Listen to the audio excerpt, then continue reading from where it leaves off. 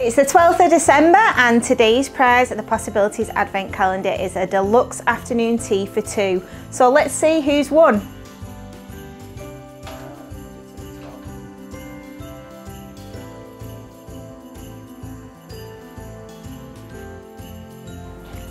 And the winner of that amazing prize is Jenny Nixon. So Jenny, we hope you enjoy it.